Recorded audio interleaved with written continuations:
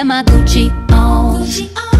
I could wear my Louis Vuitton. But even with